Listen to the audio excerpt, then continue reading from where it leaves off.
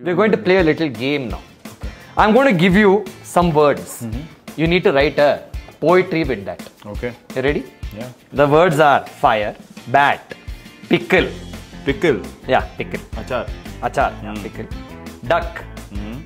N- Nothing to do with you. No, no, no, thankfully not right now. Yeah. Then? Actually, I watched uh, the last innings you played against Australia. Ah. Watched on fast forward. Ah. Then it felt fast.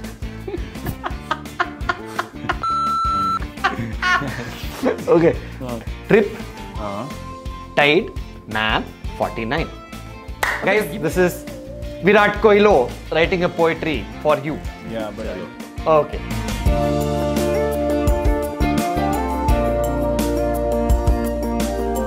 Peace. So, guys, uh, Virat, what about you? yeah, Ready? I'm, I'm ready as well. Fulfill your desire, ignite the fire, bat through the tough times. Sometimes it's 263, sometimes 49. Life can put you in a pickle, laugh through like it's a pickle.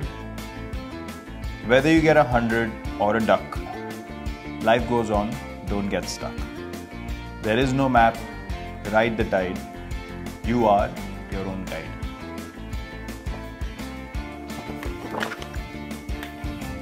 Book drop, look, look.